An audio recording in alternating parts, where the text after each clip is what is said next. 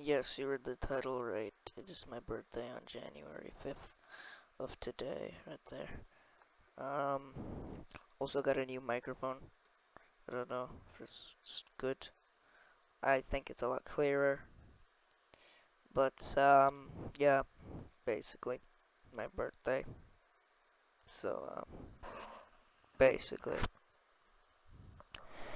Give me money. Right now because it's my